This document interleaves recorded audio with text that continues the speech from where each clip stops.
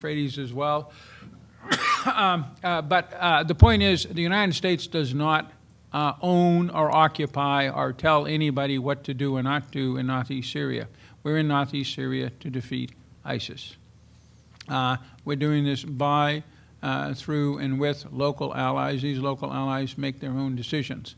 As a general rule, uh, we uh, when we find uh, violations of U.S. sanctions involving the uh, Assad government, we go after them.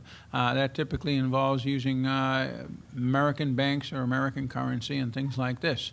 Uh, again, when we find such occurrences, we go after them.